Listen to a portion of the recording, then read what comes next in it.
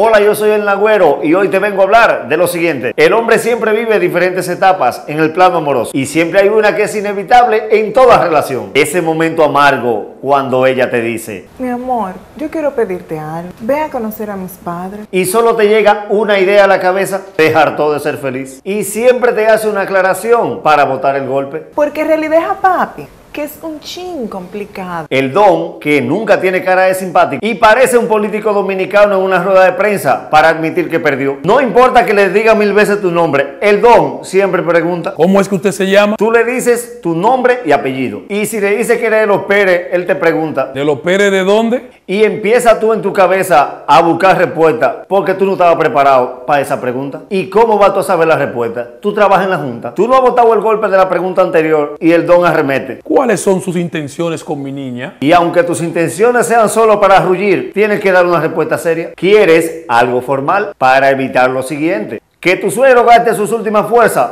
dándote una carrera. Y como si se tratara de una misión de cadetes, el don te da un sermón más largo que un día de hambre, donde incluye las siguientes frases. Sepa usted que mi niña no es relajo. El que me le falte esa muchacha se la tiene que ver conmigo. Yo no voy de ahí a ahí para marcharla a cualquiera por esa. ¿Qué usted estudia? ¿A qué oficio usted se dedica? Parecería que en vez de tú querer conquistar su hija, tú estás solicitando un préstamo. Y este reguero de preguntas. Dígale a sus padres que yo quiero conocerlos. Y después que el don te da esta tanda, aparece tu novia y tu suegra. Que puedes apostar Moriqueta Ana, que estaban las dos comiendo boca atrás de la puerta. Y después que tú pases este calvario, se aparece tu novia con la cara limpia y te pregunta. ¿Qué te pareció tu suegro? ¿Cuándo vuelves? Y tú respondes por fuera, Pronto. pero por dentro. ¡Nunca! Lo que tú más lamentas de esto es que tú llegaste con la cara así.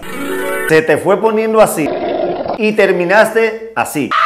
Pero tranquilo, que no eres ni el primero ni el último. Todos sufrimos de eso. Recuerda compartir este video, darle like, comentarlo y como siempre te he dicho, si lo subes en tu canal, dame los créditos y no lo uses de rutina, que todo el mundo lo vio. Esto es Humor Mañanero. Nos vemos en la próxima.